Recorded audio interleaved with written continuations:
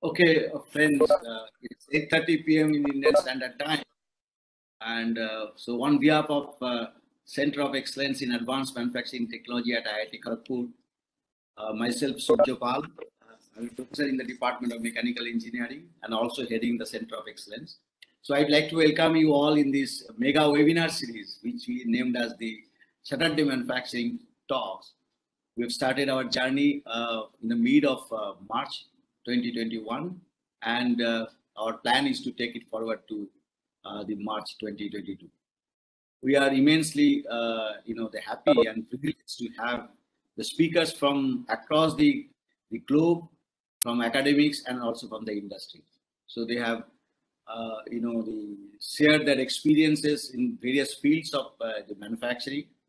Most of the topics are uh, oriented to Industry 4.0, AI, ML, and uh, because uh, you know the people these days are uh, discussing about the industry 4.0 which is to get more insight about the process and also the product to make it faster and cheaper and better. So out of uh, the you know various modules of industry 4.0 mostly the digital tools we have also seen that uh, the additive manufacturing and robotics are coming up in a big way to make the product more flexible, cheaper, and faster. And uh, today we are very much uh, privileged and honored to have Professor Satyandra Gupta. Satyandra Gupta is very renowned in this field. So I'd like to read out, uh, you know, his bioscape. Dr. Satyandra Gupta holds Smith International Professorship in the Department of Aerospace and Mechanical Engineering and also Department of Computer Science in Viterbi School of Engineering at the University of Southern California, USA. He serves as the director of the Center for Advanced Manufacturing. He served as a program director of the National Robotics Initiatives at the National Science Foundation from September 2012 to September 2014. Dr. Gupta's interests are in the area of physics-aware decision making to facilitate and advance the state of automation.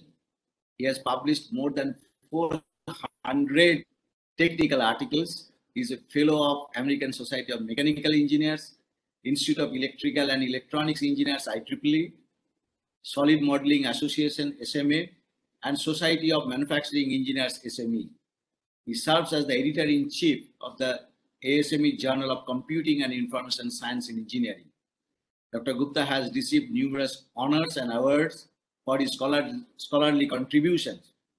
Representative examples include a Young Investigator Award from the Office of Naval Research in 2000, Robert Galvin Outstanding Young Manufacturing Engineer Award from the Society of Manufacturing Engineers in 2001, Career Award from the National Science Foundation in 2001, Presidential Early Career Award for Scientists and Engineers in 2001, Invention of the Year Award at the University of Maryland in 2007, and Kosh Toshiba Award from ASME in 2011, Excellence in Research Award from ASME Computers and Information in Engineering Division in 2013. Professor Gupta is the distinguished alumnus of IIT Roorkee in 2014 and ASME Design Automation Awardee in 2021. He has also received 10 Best Paper Awards at the International Conference. So with this, I'd like to request Professor Gupta to deliver his talk. Uh, great. So thank you very much for that very kind and generous introduction. Uh, if you can enable screen sharing, then I can start sharing my slides. Yeah. Okay. Yeah, can brilliant. my Yeah, yeah, Now, yeah, yeah. It's it's absolutely wonderful. Yeah, please go ahead. Uh, great. So again, uh, thank you for giving me an opportunity to present. Um, it's a truly a privilege and an honor to be invited to be a speaker in this series. So today I'm going to basically describe our work uh, related to additive manufacturing, uh, which has been enabled by use of advanced robotics technologies. So my research focus uh, is mainly on two areas. The first area is we use robots to enable next generation manufacturing. And the second theme of my work is that we want to leverage advanced manufacturing technologies, such as additive manufacturing, uh, advanced composites, and then utilize that to enable realization of next generation robots. So these are the two different links in my work. So today I'm going to largely talk about use of robots to improve manufacturing theme. But before I do that, let me just share with you a broader overview of my research. So we do quite a bit of work uh, where we use robots in a wide variety of ways uh, to improve manufacturing. And our work spans bin picking, kitting, robotic finishing, collaborative assembly, composite layup, machine tending, additive manufacturing, inspection. Today, I'm going to talk about additive manufacturing. To just give you a flavor for what kind of other things happens in my lab, I'm going to show you a video of our work on composite layup. The robotic cell is smart and it can adapt to uncertainties during the layup process. The cell uses AI algorithms combined with the force and vision sensors to intervene and avoid defects. The system uses advanced computer vision to detect defects and calls humans for assistance. Humans play an important role in robotic cell operations. They provide the cell with high-level strategy to generate good quality plans.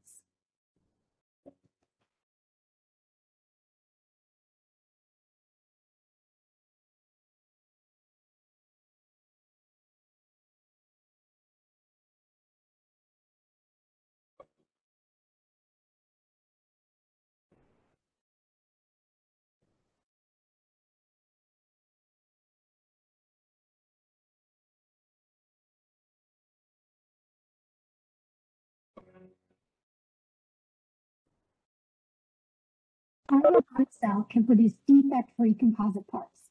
We believe this work will accelerate the adoption of composite materials and lead to the realization of innovative design concepts. So that was kind of flavor of our work uh, in uh, using robots in advanced manufacturing. So that's where we have been uh, utilizing all the AI and Industry 4.0 technologies with advanced sensing and, and, and monitoring to make sure that we can do uh, automation of processes which are very hard to control. The second uh, type of work that happens in our lab is building of robots. So we use 3D printing, advanced composites, soft material to build an array of exciting new uh, you know, class of robots. And this view graph shows some of the robots built in our lab. So we have looked at building flapping wing air vehicles. We have built robots which locomote by rectilinear gaits uh, without wheels. We have built robotic hands, which are soft in nature with uh, controllable uh, stiffness. We have built uh, robotic fish, uh, which again made out of soft material. So these are all different uh, kind of robotic platforms that we have built. And let me show you a quick video to just kind of illustrate this work. So this is our work on flapping wing uh, air vehicle. So here the idea is that we want to build a platform which flies by flapping its wing. Uh, so we have built many different generations of this vehicle. Uh, this uh, particular platform has, we have integrated in the third generation flexible solar cells in it, which then allows it to harvest energy uh, from sun and then charge the battery and fly with that. Uh, we have also put autopilot in it and that allows us to basically fly autonomously. So you can basically use it autopilot to uh, loiter about a point or you can send it to a particular waypoint. So we have done that type of uh, or integration of that type of technology in this platform. And uh, we have also added uh, some propeller at the back of the vehicle to give it thrust boost then that allows it to basically perform aggressive uh, aerial maneuvers or uh, interesting kind of acrobatics. So that kind of gives you flavor of the work that's done in building of robots. So now coming back to basically the main uh, topic of today's presentation. So let's begin with some background. Uh, so from the manufacturing process, what would you want out of it? You want manufacturing process to be able to offer features that deliver high performance that usually then allows your manufacturing process to be able to produce geometric complexity and material heterogeneity. Because these are the two things that if you have these two features then you can actually deliver high performance uh, in your products. You want low cost you want low lead time you want high degree of personalization and you want low environmental impact so this is kind of your wish list for what manufacturing should do for you so if you now examine traditional manufacturing, so here are a couple of observations. Traditional manufacturing can deliver low cost custom tooling. So injection molding, die casting, you build a custom tool and using that, then you can basically deliver products which are low cost. The very fast cycle times because you're using this uh, custom tooling and that then enables you to deliver low cost. Uh, you can get moderate complexity. Lead time is high because it takes time to build the tool. And there's of course lack of customization because this is, you know, same tool is going to be used to make lots of parts. Other strategy is that you can achieve customization. You can make exactly one-off kind of product through general purpose tools. So a lot of sheet metal bending and machining can actually, you know, use for that. Now going to have moderate lead time, moderate complexity. Cycle times are not going to be slow because you will be building the part one feature at a time. So you will be machining one pocket, one hole, one bend at a time. So cycle times are going to be slow. And that means that if you're spending a lot of time on the machine, your cost is going to be high. So these are the two general strategies and basically they have their own pros and cons. Now let's take a look at nature and see what happens in nature.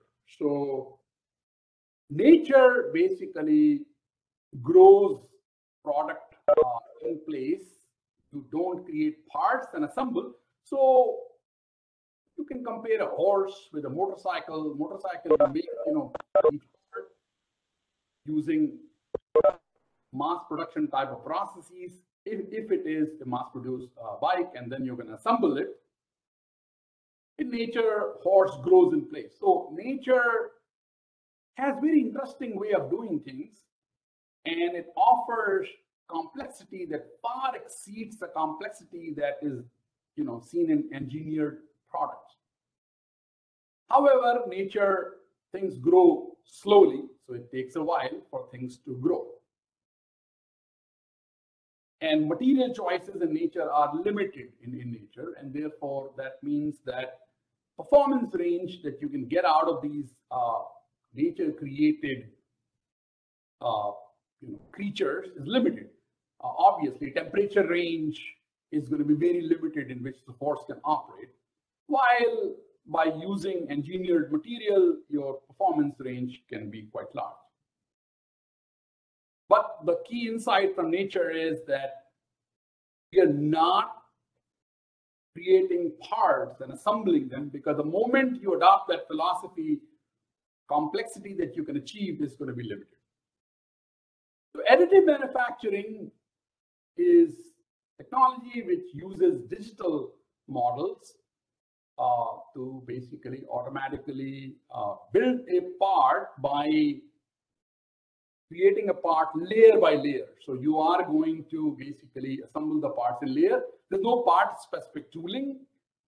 And since you are building part in place, you have tremendous geometric possibilities. So additive manufacturing benefits are that we can create shapes that are simply not possible in traditional manufacturing. Uh, additive manufacturing can offer you geometric complexity, which is uh, simply not possible in other traditional processes. Not only it can do the new type of shape, but also those shapes are not uh, offering you any cost penalty. Customization is possible. A lot of additive manufacturing processes that are being designed right now so that you don't have to do post fabrication assembly operation, which again helps with the lead time aspect of things. And this view graph shows some interesting things that people have done. Now, if you dig deeper and you kind of figure it out, okay, so can existing traditional additive manufacturing meet all my requirements or is there room that we, we can do something new there in that space? So it turns out that traditional additive manufacturing, where you are stacking 2D layers to build 3D geometry, has also some inherent limitations. Since you are making now approximating a truly 3D geometry with very, very thin 2D layers, uh, most additive manufacturing process long build time if you're trying to build anything which is large. So for example, in our lab, we have a nice uh, metal DMLS metal 3D printer. Using that, we printed this flow mixer. It takes 35 hours to print.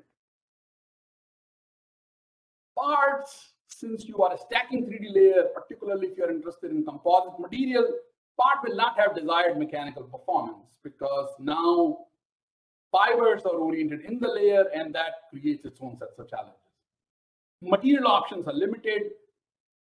Uh, you cannot create, for example, you cannot print uh, using conventional additive manufacturing the wing of uh, our uh, micro air vehicle.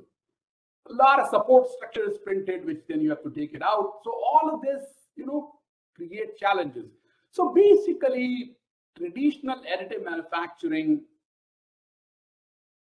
was invented in 80s to deal with that time's computing technology. So therefore, computation was simple and assembly of these small 3D layers, uh, you know, made sure that you can automate the entire pipeline. But this particular way of doing things where we were stacking up 2D layers to create 3D geometry had inherent limitations. Now, on the other hand, we take a look at it, what you see is that traditionally, machines will be 10 times bigger than whatever you're trying to create. Now, people argue that some of the earliest example of additive manufacturing are pyramids, where basically humans, which were building them, were creating things which were 100 times bigger than their size scale. So you see another limitation when you are trying to make things out of enclosed machines, then you will be able to inherently needing much, much, much bigger machine to create parts. On the other hand, humans have demonstrated that uh, agents can create things which are 100 times bigger than them. So if you think about these two issues, that why do we want to live in this prison of 2D layers and why you want to be in the enclosed machines. And if you throw those things out the window, then certainly exciting visions start, you know, emerging. So we want to be able to realize flexible additive manufacturing by using a team of robots. So we want multiple different robots building part for us. We want to use non-planar layers. Want to be able to print really large parts, much bigger than the size of the robot. We will have new sensing technologies, as you were seeing in our composite work, which will enable in situ monitoring and control. Cell can not only deposit material, it can also place prefabricated components and it can do automated post-processing. So that's kind of our long-term vision. That's where we are going. Now I'm going to show you what we have done uh, so far. So the focus of our work is an additive, uh, then of course that, that requires us to make advances in robotics. And then since we will be dealing with these complex, crazy 3D layers and significantly more complex trajectories, that will of course require advances in AI. And if you want to learn more about the challenges in doing it, then you can take a look at our survey paper, which was published in Additive Manufacturing in January 2020. So let's begin with the basics. So printing using conformal layers. So the first idea is that why not just go away from these planar layers? Let's print with conformal layers. And obviously, in that case, for certain class of products, the moment you can have truly 3D layers, you can actually get significantly superior mechanical properties. Now the question is, can this be done? So we build a setup uh, using a six degree of freedom robot. Now we have not experimented with continuous fiber in this setup. However, it's possible to you know put a print head which can have continuous fiber. We have mainly been using chopped fiber in this work. So by uh, printing a wide variety of thin uh, shell geometries, we have shown that you can actually achieve build time comparable to that of traditional uh, planar layers. However, your mechanical properties are significantly better. This video just illustrates how the process works. So this printing is done on a substrate. So use robot to do printing on a substrate. And then when you're done, your fibers are aligned the way you would like them to be aligned. And that way you're going to get a significantly better quality uh, part than you would get if you were, you know, approximating this crazy geometry by planar layers.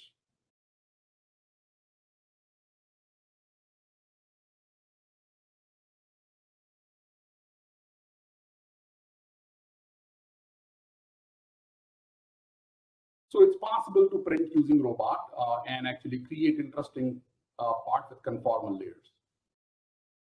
Once you can do that, then suddenly starts opening up multi-material printing possibilities. So why not, you know, put a multi-extruder on, on the robot and then print with multi-material. So we have done that. So we have built a three extruder system and this 3x extruder system, you can print actually. So the previous example, you saw that you were using a prefabricated uh, tool on which you were printing, but you can also use one of those extruder to do basically uh, print support material. Or you could use these extruder to do multiple different material, multicolor. So we've demonstrated that all of it can be done and since again, you have truly 3D printing can create all kind of interesting things that you cannot if you were basically restricted to printing in planar layers. Another interesting possibility that it opens up is multi-resolution printing. So typically what happens is that you're printing uh, in a traditional setup, you can actually use large nozzle size to give you fast build times, but poor surface finish, or you can use small diameter nozzle to give you good surface finish, but very long build time. why not, uh, you know, do multi-resolution printing? But multi-resolution printing you cannot do if you're printing in things in 2D layers. This idea will not work. So of course, you need then uh, conformal printing. So using conformal printing, we have demonstrated that inside of an object, you can print it super fast using large diameter nozzle and exterior skins of the part, you can print them using small diameter nozzle. And that enables you to basically achieve lower build time and good surface finish. We have built two different setups. So this view graph that I'm showing here is basically from our two robot setup. And the view graph I'm showing here is with from our uh, single robot setup with a multi-extrusion system. So again, it's possible for us to do that where we can get the best trade-off between build time and surface finish. Another interesting possibility once you start printing with a robot is that you can actually achieve less additive manufacturing. So many parts, it turns out that if you're doing these crazy type geometry, you may print enormous amount of support structure, which is wasting material, taking time, and then you have to remove it, which again is going to take more time. So can you do supportless printing? So in this case, we're using a two robot setup. One robot is holding the build platform. The second robot is actually doing the printing. And using this, uh, then you can actually build uh, these structures with significant overhang. And uh, that enables you to basically not utilize support structures.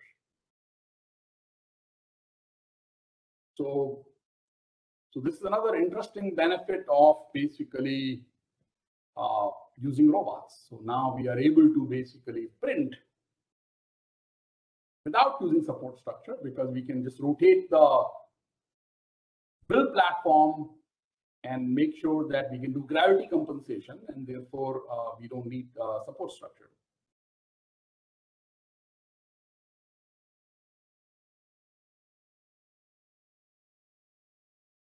So this is just showing you, you know, examples of different kind of things that we have attempted to print using this technology.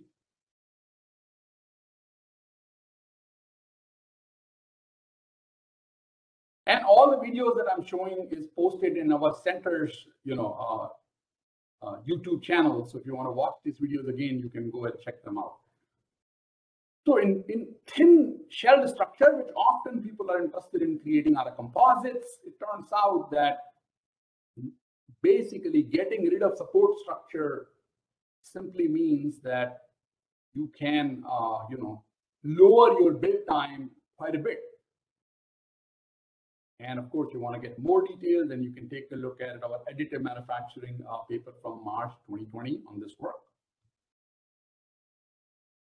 So not everything you want to print using basically uh, extrusion-based process, because if you want to integrate solar cells or if you want to create uh, certain type of uh, structures, in that case, you're better off using sheet lamination process. So we have also built an automated cell for doing it.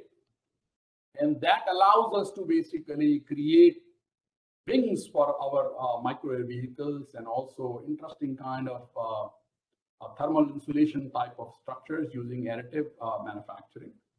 So quite a bit of work we've also done basically in sheet lamination using robots. Since you have a robotic cell and you are able to print conformal layers, it's very easy for us to basically pick up a battery or a motor or a sensor and just insert it while the things are being printed using a second robot. And that then allows us to basically uh, create all kind of interesting structures with embedded sensors and electronics and actuators. Uh, so that's another capability that we get. Now, because of embedded videos, uh, my slide uh, were really large. So what I'm going to do would be switch over to a different presentation and uh, show you the second part of the talk, which is from a different file. If you just give me a second, I will uh, open up uh, that file and show you the second part of the presentation.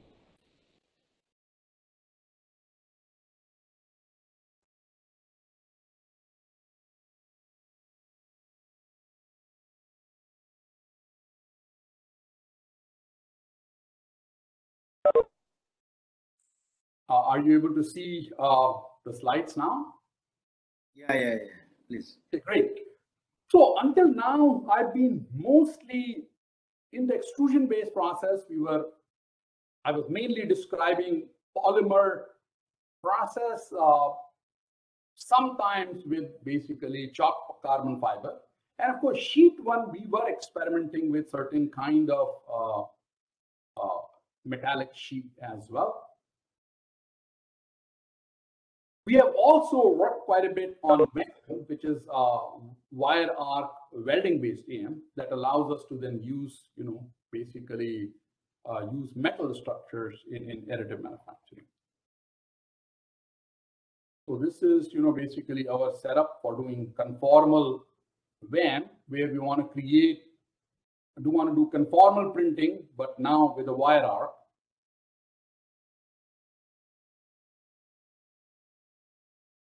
So similar idea, we are depositing material using basically a WAM system.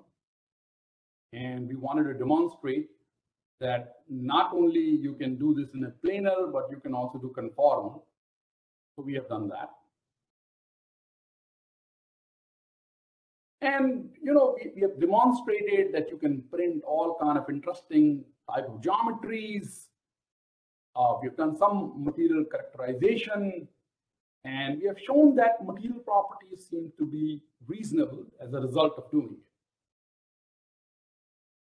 So hopefully by now I have you know, presented argument that why using robot in additive manufacturing uh, is useful uh, to just give a quick summary, it improves mechanical properties due to use of conformal layers. So you are no longer limited to creating 2D layers.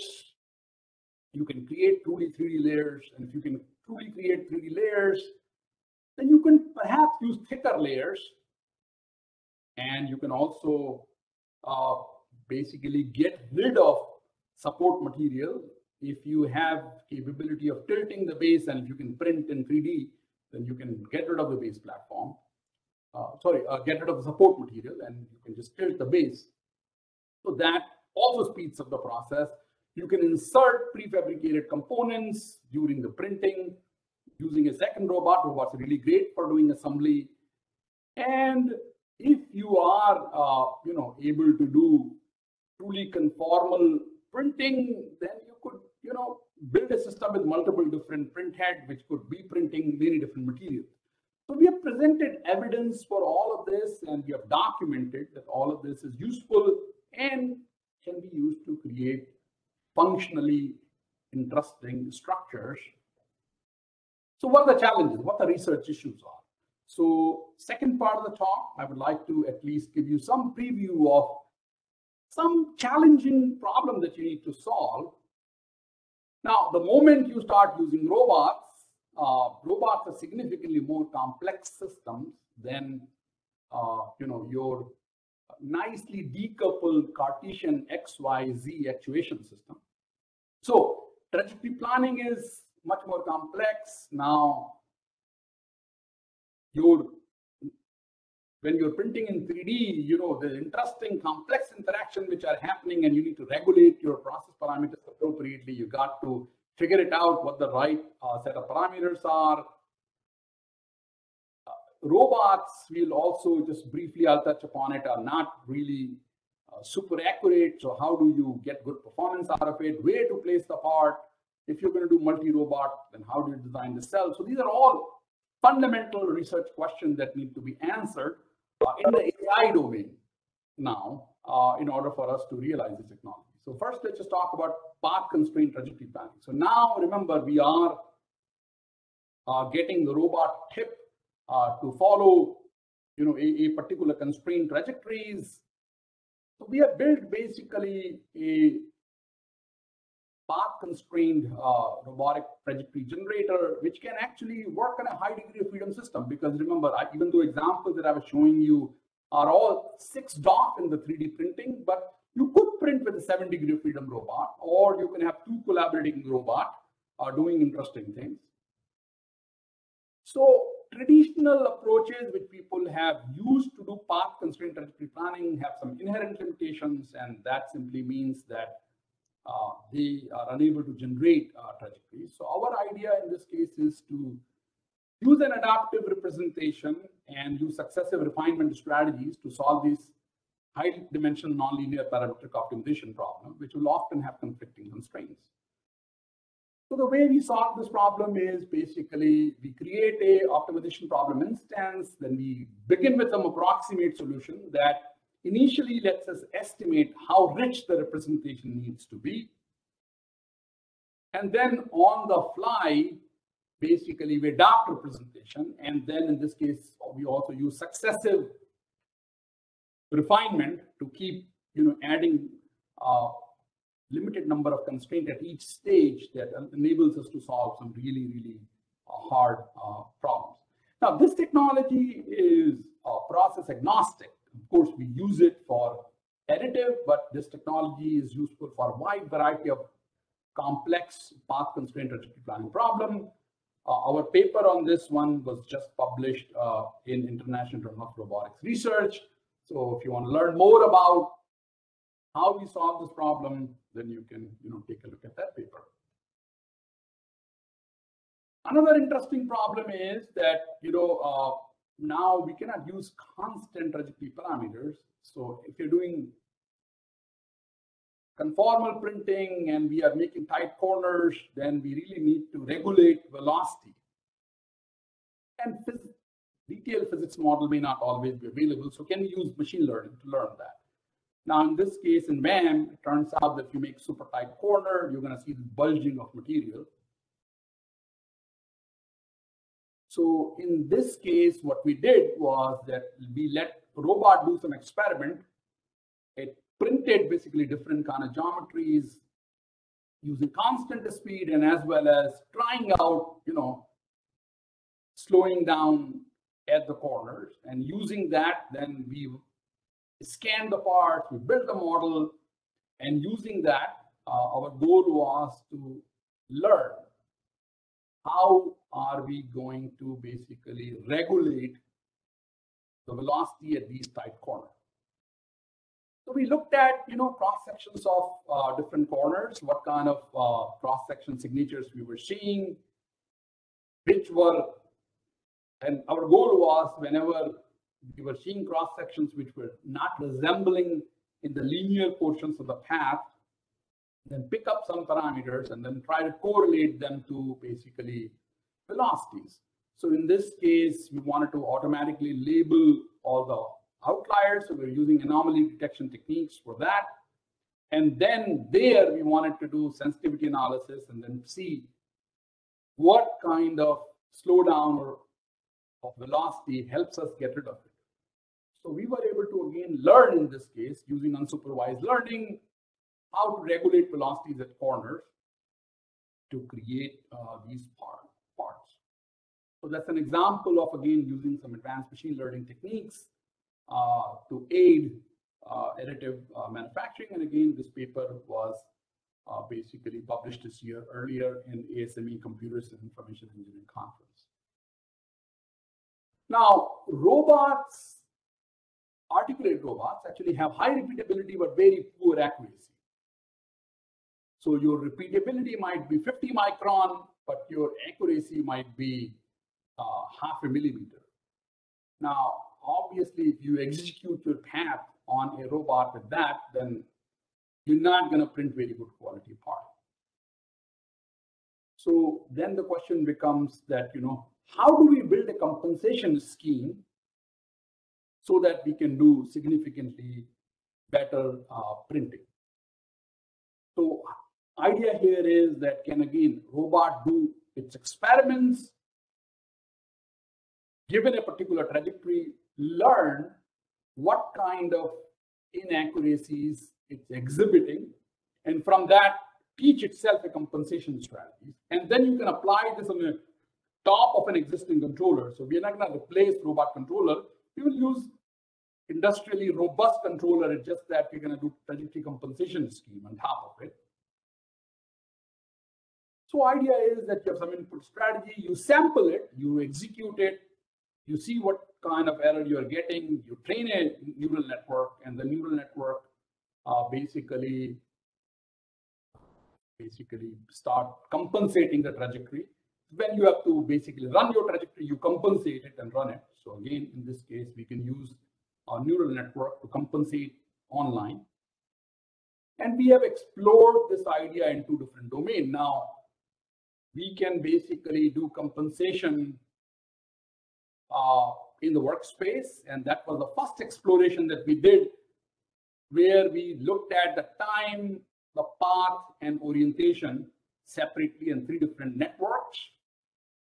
And we demonstrated that if you run compensated trajectory, if you just sample only 4% of the trajectory, then you can actually reduce the error dramatically uh, for, for these industrial robots. And that enables you to print very, very accurately.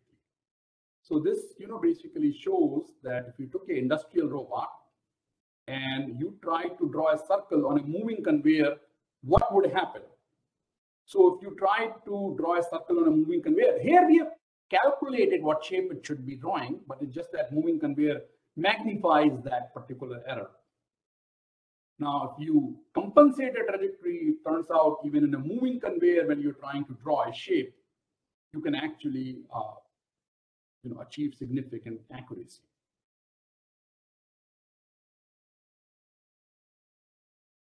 So, so that was our exploration of uh, basically when we were compensating in the workspace workspace ideas work well, but when we start seeing redundant manipulators where the significant coupling, in that case, direct compensation in workspace is not possible, and we have to now start looking into compensation in configuration space.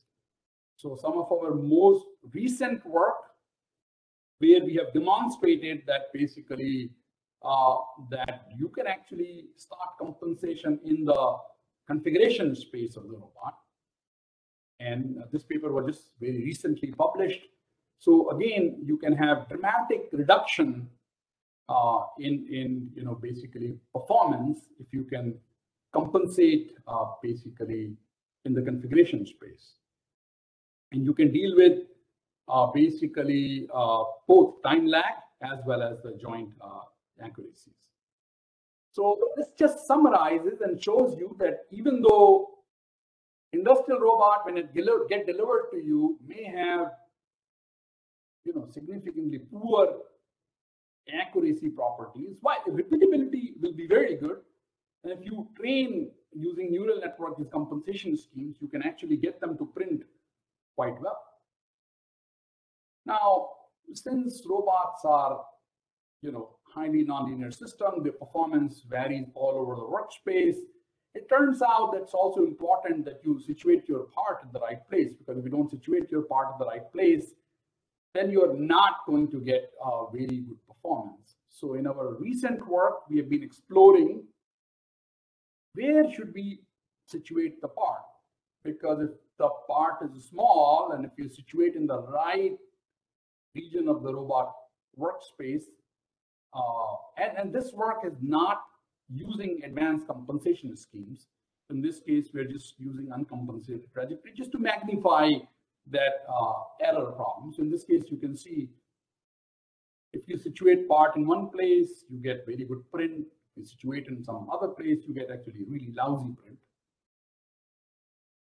So now the question is, can we build this error model for the robot workspace and then figure it out where to print the part? So in our recent work, we have actually built a very detailed error model.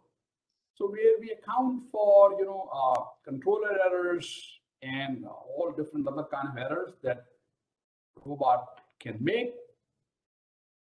And then basically we have built an optimization on top of it that will allow you to pick the right location for the part in the robot workspace, which will give you highest possible uh, accuracy.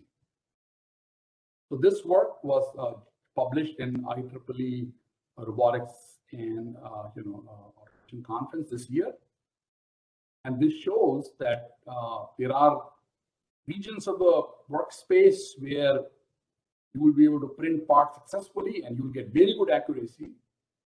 So different kind of part geometry, there are different locations, and again, different kind of robot, to different places where you want to print the part.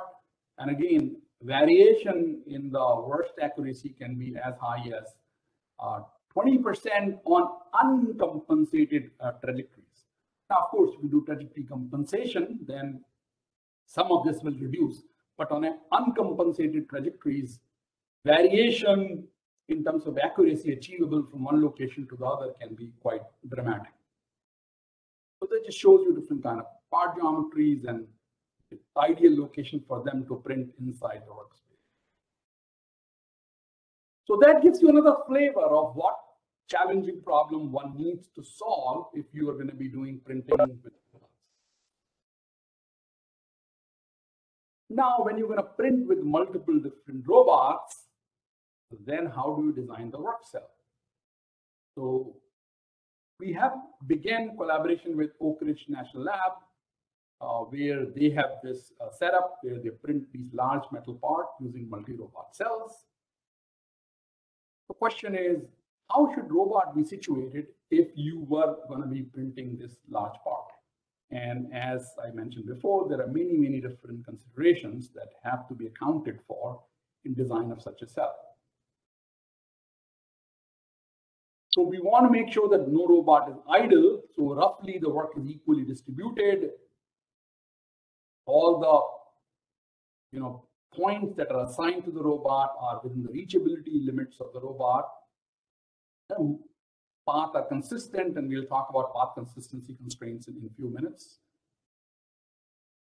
Now, we pose the problem that you know you have to place these three robots. Where should this robot be distributed? And we again convert this into a nonlinear optimization problem, except that in this case, we have to also divide the task among the robots. So we solve the problem in two stages. First stage, we basically partition the work by, uh, you know, uh, decomposing the part into three subparts and each robot get assigned and then you try to locate the robot appropriately. So you solve these two problems, you know, concurrently. So for if you're building a part like this, this seems to be the best solution uh, where you know you can place the robot. Now we've compared it against basically your conventional approaches where if you just you know have a fixed cell and you try to build this part, what happens? It turns out that you're going to see significant amount of IK inconsistencies. Even though part is reachable, in middle of it, you have to switch off the arc and uh, you have to reposition the robot uh, in a different uh, kinematic family to continue the printing. For this part, you know, it, it, requires a different configuration. Again, the similar kind of problem. If you use uh, our approach, then you don't have those kind of problems. Yeah, so again, uh, using, you know, basically this technology, we can also do supportless fabrication where we can basically tilt the robot base and then compensate for gravity. And as I was mentioning before, robots are excellent for doing, you know, basically assembly. So we can do insertion of prefabricated component in AM, and we can integrate inspection prognostics and health management technologies uh, in uh, additive manufacturing cells as well. And we have made a tremendous amount of advancement in doing that in the robotic cells. So that uh, concludes basically my technical presentation. I would like to acknowledge all my students who have done wonderful work. I get to present on their behalf. So it's a truly, again, a privilege and honor to have all these students uh, working on these exciting topics. Uh, we have been fortunate to have wide variety of you know, funding agencies supporting our work. I'd like to acknowledge uh, all of those funding agencies. And again, we have tremendously benefited from our interaction with uh, many different companies, which have helped us uh, tremendously uh, in, in, in our endeavors. So my intention today was to basically, you know, convince you that using robot, we can do many more interesting things in additive than we will not be able to do in a conventional 2D stacking of layers. So I hopefully I, I gave you a glimpse of possibilities that if you start using robots, then uh, you can do interesting things. Now, but then the, immediately people ask the second question, okay, but robots are much more complex systems. And uh, in order to use robots, we have to then encounter all these very challenging problems that we don't encounter when we build these decoupled, uh, you know, uh, three-axis systems. uh, can we deal with those problems? So the second part of the talk was trying to convince you that using all the advances in AI, we are now able to handle those challenging problems and we are making progress and we can generate trajectories for really complex uh, robotic systems. We can compensate those trajectories. We can figure it out what kind of errors we are going to be getting. And then we can figure it out how to place the robots. We can design the cells. So hopefully I have convinced you that you should look at robots as a possible uh, agents to do your additive and you will gain some benefits out of it. And also, hopefully, I've convinced you that this is intellectually fertile area in order for us to use robot. There's a lots of tough problems that need to be solved. And uh, that will give you tremendous excitement and joy in terms of chasing those hard problems and, and making, you know, progress on, on getting work done in that space. So with that, uh, I would like to conclude uh, my presentation.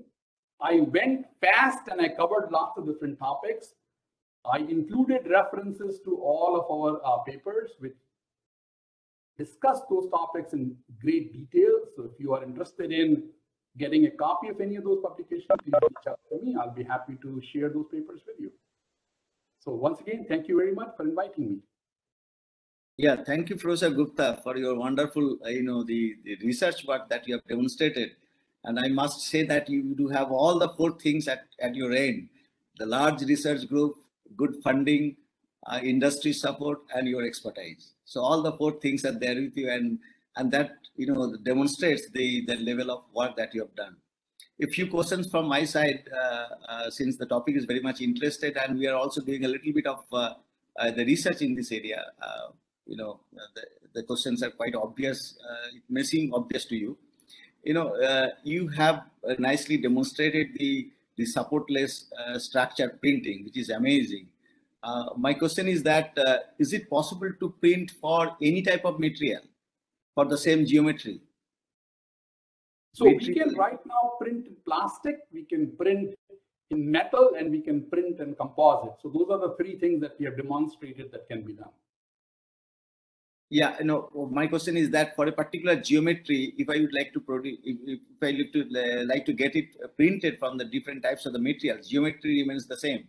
Is it mm-hmm. does uh, material play an important role there? So, I mean, uh, material does not. I mean, as long as the material, so material plays the following role, right? So, remember when you're depositing, material is liquid uh, for a short period of time, right? If it doesn't solidify fast enough, then you're going to get in yourself in trouble. As long as it solidifies fast enough, then there's no problem. Uh, you you mentioned about the multi-material printing. You know the how far we are from the sensor printing, in situ sensor printing, uh, while printing the job itself. So, so sensor printing so the challenge in additive right now is the following right? I mean you you individually people have capabilities so people can print really exquisite sensors in the machine where printing sensor may take a couple of hours right? Uh, they can give you very high resolution and can print the sensor. But if you're trying to print sensor in situ in the context of a larger structure it's not economically viable approach right now because the time it will take you and the high resolution that will take you to print the sensor with that process and then embed things around it will be tough. So my approach to that has always been that at least in the short term, you don't want to print sensors and motors and batteries in situ. You want to basically prefabricate them and you want to just insert them in the structure and just print around them. So that's kind of what, what my approach is. Okay. And uh, you know the uh, you have shown the example of the WAM, you know, wire arc additive manufacturing, in the welding based process right. and all. Now, in case of welding, we all know that residual stress is a concern because when the molten material gets solidified. Right. So, uh, how do you take into the you know the corrective measures for uh, for uh, you know, the residual stress corrections, and because the distortion will come up when the metal gets solidified. Absolutely, absolutely. So there are few different approaches that people have been investigating. So again, WAM right now is a very popular process in US and several places in Asia. Now we have been largely looking at the path planning and you know trajectory compensation end of it, but people have been looking into basically wide variety of way of handling residual stress. Some of it basically is now involved in basically doing post uh, print heat treatment and then trying to figure it out what distortion will happen during the heat treatment process and then compensating the geometry at the front end. So that's kind of one avenue that some people are pursuing. Some people are interested in kind of knowing that can something be done, uh, you know, during printing, right? Can some intervention be performed during printing? Uh, so that involves basically much better thermal control, where you try to control uh, process uh, thermally, and that prevents basically buildup of excessive, you know, residual stresses. So people have been investigating different, but that's not a topic that I have pursued myself. You mentioned about the multi, you know, the agent printing. You know, multiple robots are working together uh, simultaneously and all. Right. So, uh, has your group worked on the uh, the the application of the AI in case of uh, rescheduling the job, in case of failure of uh, or wrongdoing of uh, a particular robot? So that's not something that we have worked on it yet, but that's where we are going. But I know that you know some of our collaborators are already working on that problem. So dynamically, so for example, if so not only a robot failing, but uh, I mean as you said, but also sometimes what happens that so let's say you're doing RAM with three robots, there may be delayed arc initiation for one of the robots. So you know one of the robot may have to try three times to initiate arc, and uh, that just may delay it, right? And therefore you have to redistribute the task dynamically. So uh, our collaborators have been looking at it, and that's a topic of extreme interest. Yeah. We certainly need to investigate the topic. So, uh, you know, the Professor Gupta, there may be some questions at the chat box. Uh, so, if, if you don't mind uh, reading these questions from there. Uh, sure. So let me see how can I get to the. And I request the audience to uh, place the questions in the chat box itself. Uh, okay, so the first question is, could you please comment on the issues reaching strength compare, comparable to conventional forming uh, from solid sheets? Uh, are you doing any work on printed circuit board with Jabil, etc.? So now, when we look at it, basically, uh, process of sheet lamination, we are not going to be uh, reaching, uh, you know, so sheet itself will have, you know, basically properties of whatever you get the form sheet. But when you start stacking them up, you're not going to see, you know, uh, strength comparable to solid uh, sheets. But we can design around it. We can, you know, build structure in such a way that we don't need uh, basically strength uh, shear strength between the sheets. We can just engineer it appropriately. Uh, second part of the question is, are you working uh, any work on printed circuit board with Jabil? Not with Jabil, but we are working on basically uh, our current research is basically uh, printing on the circuit boards, basically, right? Some some electronic connections on, on circuit boards. So I mean that work is still not mature enough for me to talk about it, but in the lab, we are currently working on basically printing on flexible substrates, uh, basically electronic circuits, so that we can uh, enable that. So that's the only question that I saw on chat. Maybe. Yeah, I think uh, there is no other questions right now. Uh, quickly, uh, the audience, if you have got any queries in your mind, please, uh, you know, write yeah. So one question is that what are typical L by S then?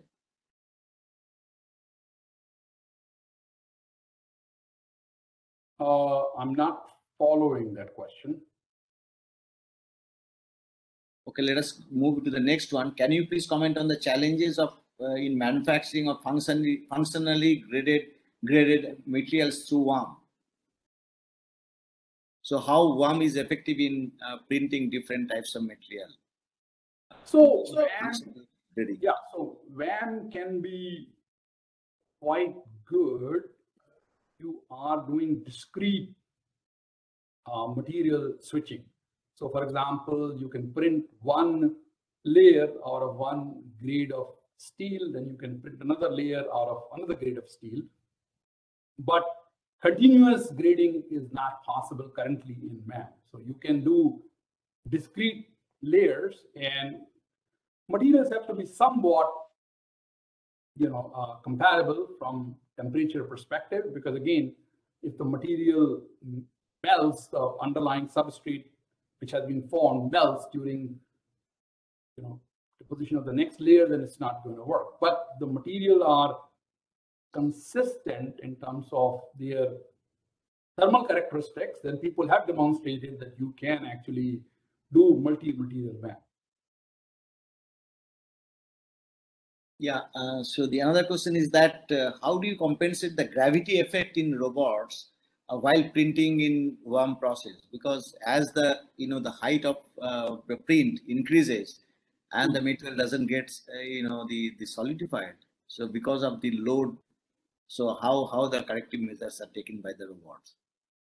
So basically, robot itself is printing basically. So you, you situate the robot, you know, constant depth from basically the top of the layer, and the robot has a built-in controller which is actually monitoring the arc voltage, and through this is, is trying to maintain that uh, basically depth. So you are running another controller to make sure that you know your, your process in terms of uh, the distance from the robot, uh, you know, the tip of the torch to the layer top of the other previous substrate can be maintained. So there's a controller running to do that.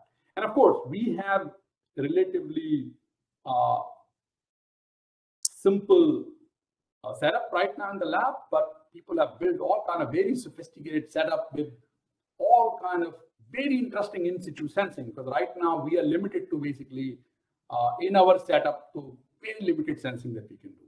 But all this excitement which is happening in robotic welding, so another parallel movement in US is now build this autonomous uh, welding robot, and they have matured sensing technology quite a bit. And as that sensing technology becomes available uh, to WAM community, then we will be able to do even even better things in that space.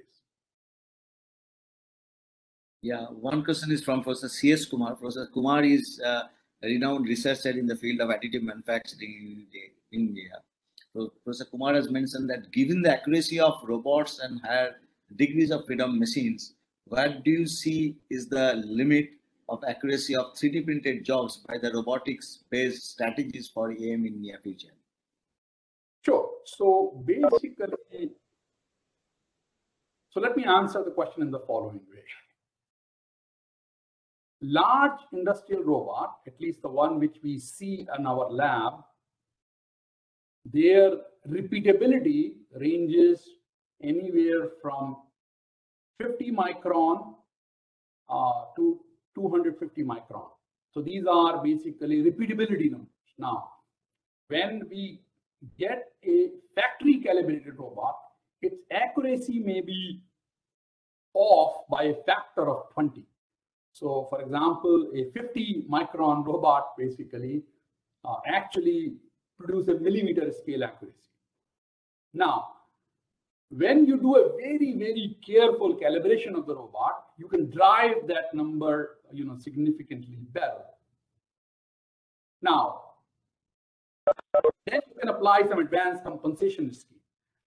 If I were to guess right now, uh, I would guess that we should be able to get to probably a factor of three of repeatability. If we do everything right, so then if let's say you have a 50 micron calibrated robot, I'm sorry, repeatability robot, then after very careful calibration, we can, and compensation scheme, we can start approaching 150 micron. We haven't done that yet, but that's what I believe is doable. Yeah, two more questions are there. One from uh, IIT Ropar, Mr. Anupam Agrawal. Mr. Agrawal has mentioned how to take care of reactive metals additive manufacturing using robotic assisted AM process, as the workspace needs to be kept under argon gas or noble gas environment, particularly with respect to powder based process. This is one question from uh, Mr. Agrawal. And then other question is there from Mr. Gupta, is that uh, could you please explain which one of the two approaches of research would be more fruitful? Working on addressing on or on addressing robotics problems and AM problems separately and independently, or working on both the areas in conjunctive fashion, understanding the requirements and limitations of each other. So first, let me answer the first question, which is about reactive uh, materials. Now, powder bed is a entirely different technology, right? Uh, in case of powder bed, I'm sure robots can play a role. I have not explored uh, you know, robotics and powder bed process, so it's very difficult for me to comment on that.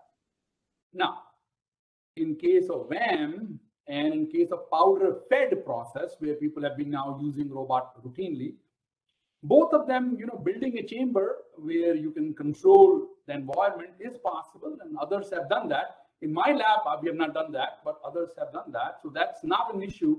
You can really build a chamber where you can actually control, uh, you know, you can do argon, nitrogen, uh, appropriate combination of the inert gases, and, and that should be okay.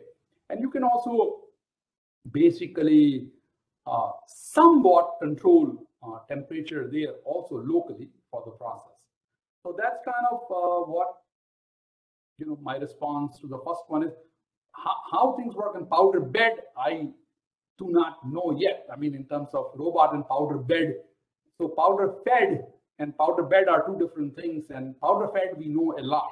I mean, how to do that thing with the robot. Now, the way the approach that we follow in our lab is that we first build a setup with the robot. We, you know, basically go ahead and start printing with the robot, whatever we know.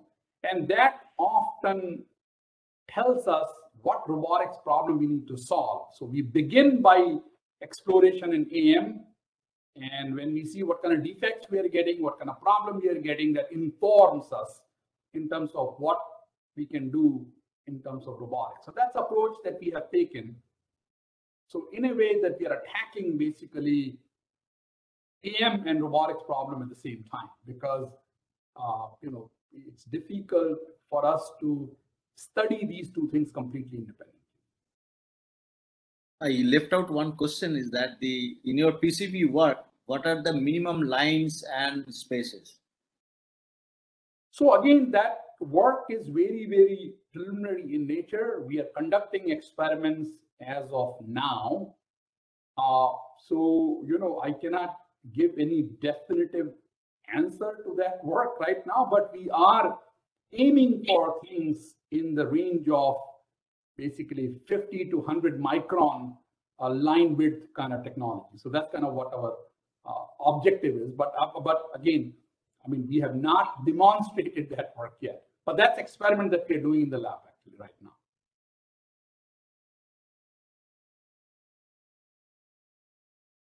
The uh, question is from Omkar, but it is not uh, complete. Issues related to materials deposition when integration of additive manufacturing and inkjet printing printed electronics. Let us leave this question because it's not complete. Yeah, uh, with this, uh, let us, uh, you know, finish the question and answer session because uh, uh, it's already 9.48 in our time. And uh, Professor Gupta, thank you so much for your wonderful, you know, the talk and the research works. and we are really grateful that you have taken out time for you from your valuable, I mean, busy schedule and all. we are really grateful to you.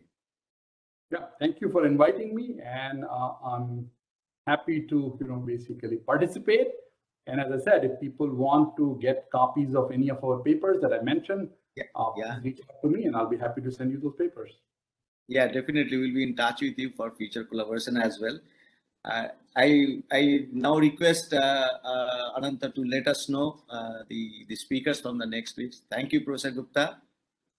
Thank The next week could be Mr. Dipankar Ghosh from uh, 3M. Uh, uh, Mr. Ghosh will be talking about the advanced dielectric materials and applications in manufacturing. And then on 30th of uh, October, Arjun Malhotra would be talking of uh, the scope and opportunities for entrepreneurship in product design and manufacturing. With this, I'd like to finish today's session. Thank you so much for your presence.